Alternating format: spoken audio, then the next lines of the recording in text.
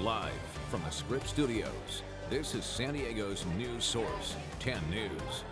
Welcome back to 10 News. I'm Steve Atkinson. And I'm Kimberly Hunt. We start today with breaking news from the East County where firefighters are battling an out of control brush fire. For the latest, let's get right to our reporter live at the 10 News Experience. See how far the fairway is backed up? A broken water pipe made this mess. If we go to the map, you can see the better way to go back to you. Great job. For the latest breaking news updates throughout the day, turn to 10 News. And stay connected to major news anytime, anywhere